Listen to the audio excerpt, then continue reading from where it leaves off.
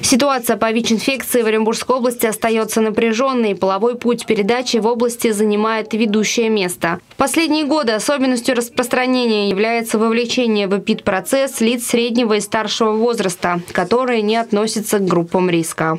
Сегодня и не на последнем месте стоит половой путь, то есть распущенность в поведении, секундный выбор партнера для своих сексуальных утех. В результате этого люди очень часто заражаются, и не только люди, и молодежь, и э, бывает и подростки. В Оренбургской области отмечается положительная тенденция по снижению числа вновь выявленных случаев ВИЧ-инфекции. За 10 месяцев этого года зарегистрировано более тысячи новых случаев, что ниже среднемноголетнего уровня заболеваемости за последние 5 лет на 17%. Если сравнивать с 2017 годом, то заболеваемость у нас снизилась на 38%. То есть тенденция наметилась на снижение.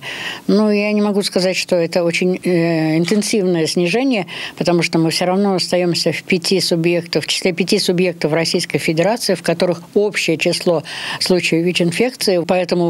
По вопросу находимся на пятом месте.